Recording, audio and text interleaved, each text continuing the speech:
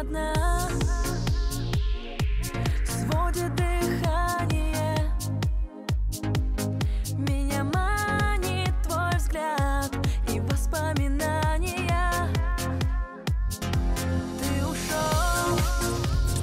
Y mi vida divina está pensando en todo, así que no te puedes perder esta notita donde vamos a tratar justamente los problemas sobre el cabello. Si tú tienes pérdida de cabello, si simplemente quieres ver tu cabello con más luminosidad, más voluminoso, no te la puedes perder porque ha llegado a Lima una nueva clínica estética llamada Hair Recovery. Así que acompáñame a ver esta nota y no te pierdas todos los detalles.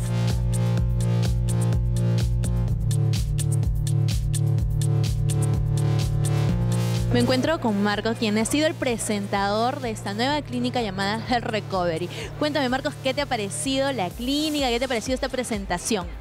La verdad que ya me fregué, ya les dije a, los dueños, les dije me fregué porque me va a costar plata venir acá. Porque nada, todas las cosas que han sacado, en primer lugar está buenísimo eso de saber si genéticamente te hacen un examen a ver si vas a ser calvo o no. Porque entonces si no vas a ser calvo ya listo, no te preocupas. Pero si vas a ser calvo ya empiezas a hacerte tratamientos y hay un montón de tratamientos para hacer, así que está buenísimo, por lo menos yo no quiero ser calvo. Pero, pero hay como una especie de, de- de- nunca sabes, ¿no? Y siempre estás pensando, ¿no? Yo, pero mi papá tenía pelo, pero tenía entradas, pero la familia de mamá hay calvos. Entonces, ¿no? así te, te quitas la curiosidad de la cabeza. Entonces te vas a someter a, a- ver a esta prueba si eres, si tienes la predisposición a ser calvo no. Por supuesto. Acá lo doctor, doctor Nicolás. Nicolás. Me están preguntando si me voy a hacer la, prueba- del ADN. No, claro, me van a hacer una mega rebaja. Mira la guapa peruana que te traigo. Sí, ¿sabes que el estudio de, de ADN GER que nosotros estamos haciendo como única clínica en Latinoamérica realmente es un estudio muy interesante porque no es para nada invasivo, se hace con un hisopo, es una muestra de saliva, luego lo enviamos a nuestro laboratorio de estudio de biología molecular y de estudio genético y ya te permite saber si esta marca genética, esta predisposición, esa persona la tiene o no. Como así también hay un potente antialopésico, hay un comprimido, una pastilla que se llama finasteride, ese es el nombre de la medicación, que frena la caída del cabello y lo engrosa. Este estudio genético te permite hacer dos determinaciones. Primero, saber si el paciente va a ser calvo o no, si ha recibido esta herencia o no. Y segundo, si el finasteride le va a funcionar o no. En principio lo podríamos saber en un recién nacido, pero no es la idea. La idea es en aquellos papás que a lo mejor hoy tienen 45, 50 años, eh, tienen sus niños que empiezan a ser adolescentes y dicen, bueno, yo perdí el cabello, no me gustaría que mis hijos lo pierdan. Ahí se pueden adelantar con un estudio genético y saber. Si no hay predisposición hereditaria, lo dejamos tranquilo. Si tiene la predisposición, le decimos que cada seis meses haga un control. Cuando empiecen los primeros síntomas, tenemos tratamiento de prevención para que nunca sea calvo. ¿Y cuál es ese? Ahí, por ejemplo, ya me, ya me interesé yo. Ya, yo voy mañana a tu consultorio y me dices voy a ser calvo. Y me dices que la alopecia no funciona para mí. ¿Qué me das? Ahí empezamos a hacer un seguimiento. Cuando detectamos que empezamos con los primeros síntomas, tenemos, como decíamos, finasteride, que es un producto que frena la caída y engrosa el cabello. Hay lociones con minoxidil y tratamiento con Nutrifol. El tratamiento de Nutrifol con pistolas digitales y automáticas, ponemos vitaminas, aminoácidos, tratamientos que son para frenar la caída y engrosar el cabello y se aplican directamente a las raíces que veamos afectadas. Y las mujeres se pueden hacer eso también, ¿ah? Sí, mi pregunta es ¿en qué, gel en qué gen yo puedo encontrar esta marca que es bueno la que la que me puede decir, ¿no? Si puedo ser predisposición a ser calvo o no. Porque yo soy estudiante de medicina, entonces tengo que saberlo. Un estudio bien complejo lo que se hace, digo para contar que se puede entender de manera más coloquial. Sabés que el ADN y, y nuestros genes está como una cadena helicoidal retorcida. Se le colocan unos productos que lo que hace es desenroscar esto y se le coloca otro producto que lo que hace es seccionar directamente la cadena, ¿sí? Y vamos al par número 21 y ahí vemos si tenemos esta falla o no. Me hubieras preguntado a mí lo de la cadena, el loco, lo ideal, ¿no? Que con lo cortas es el 21. Claro, y entendiste todo, entendiste todo. Lo importante creo que es saber porque hay muchísimos mitos. Hay personas que dicen, bueno, el cabello se cae porque lo estoy lavando todos los días, o se cae porque utilizo cascos o gorras, o porque el cabello lo tengo más largo. Lo importante es saber que en la mayoría de las caídas de cabellos hay inflamación de los folículos capilares. Es una inflamación invisible a nuestros ojos, es una inflamación microscópica, pero muchas veces peinados recogidos, trenzas y la aplicación de eh, extensiones van jalando el cabello en forma permanente. Al jalar el cabello se transforma en una inflamación que no la estamos viendo pero que existe y posteriormente se cae ese cabello.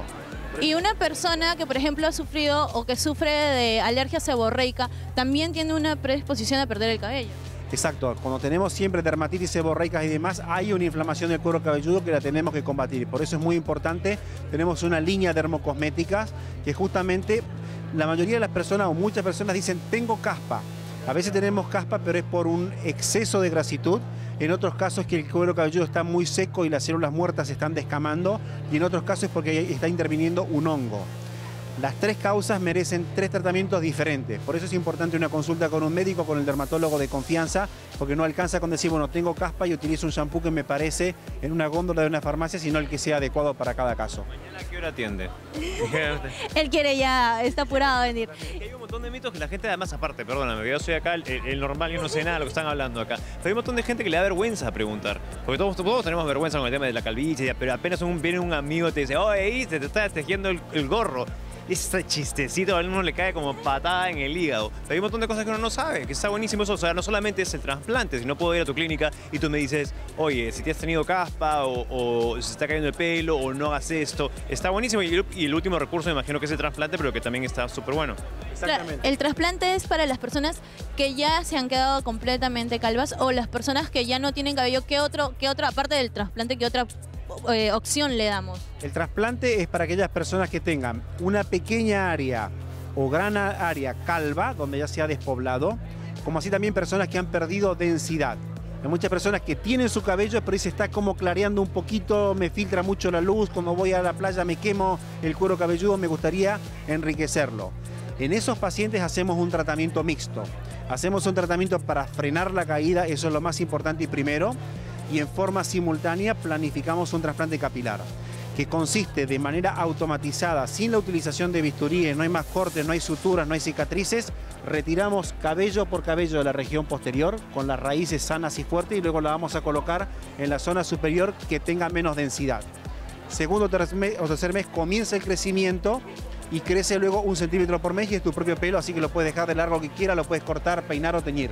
Y después de hacer esto no va a quedar como decir la huella, ¿no? La, la persona te va a decir, oye, te, te hemos puesto implante de cabello. Pe- Pelo de, de muñeca. No, no, no. La verdad es que los resultados ha avanzado mucho la tecnología.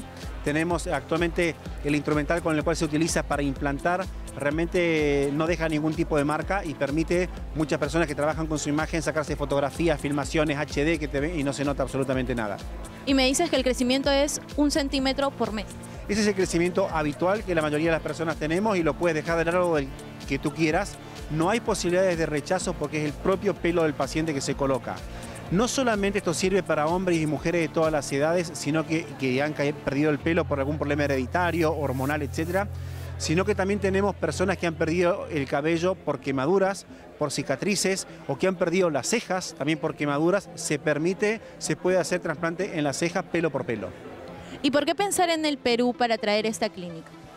Bueno, Qué malo, estás diciendo que hay un montón de... Yo creo que acá, bueno, no sé, pero hay, hay calvos en todas partes, ¿no? Pero que el peruano tiene buen pelo, ¿ah? ¿Tú crees? Yo creo sí. Yo tengo las raíces italianas que me fregaron. ¿Sí? no. Porque sé que hay 23 clínicas ya eh, eh, en Latinoamérica. Esta es la 20 número 23. la que estamos inaugurando en el día de hoy este, en Lima. Tenemos ya varias clínicas desarrolladas en Argentina. Nuestra idea era este formato que realmente fue muy exitoso y que tiene tres niveles de tratamiento. Los shampoos, los restauradores, las ampollas anticaídas, tratamiento de prevención y trasplantes. Con ese formato hemos salido al mercado latinoamericano. Hemos inaugurado ya dos clínicas muy importantes en Bolivia, hemos inaugurado dos clínicas en, en Quito y en Guayaquil, en Ecuador. Y este es nuestro primer centro en Lima y pronto también tenemos pensado abrir nuevos centros en Los Conos, en Trujillo y en Arequipa, que creemos que son eh, sectores, ciudades importantes que merecen un centro de estas características con atención exclusiva. Y por ejemplo, yo como mujer, de repente yo no tengo mucha pérdida de cabello, pero yo quiero que mi cabello sea más bonito, sea más abundante y también con más vitalidad. También eh, tienen algo que me puede ayudar en ese Exacto, tenemos que revisarte con una aparatología especial que tenemos, revisar cómo está el cuero cabelludo y adecuar cuál es el shampoo que más conviene para tu caso. Una partología también. Le- Lo mejor es que no sabes que todo este mes de octubre tengo entendido que la, la consulta es gratis, ¿verdad? Así que no vas a gastar mucho. Por este mes que estamos de inauguración, sí, así que tienen que aprovechar, sí, mes de octubre, consulta sin cargo. Enfrente del Banco de la Nación, es Javier Prado, allí estamos, así que pueden consultarnos. Nos vemos, doctor. Por favor. ¿O no? Sí, claro, por supuesto. Invite, por favor, a, a- a- a las personas a visitar esta clínica. A ver. Hay que conocer Hair Recovery, ya saben todas las opciones, ya el doctor nos ha explicado un montón de cosas y ahí nos vamos a ver, acá con la doctorcita también. Muchísimas gracias, ¿eh? muchísimas gracias, doctor. Gracias por este gran aporte y por esta clínica nueva abierta. Y muchos éxitos.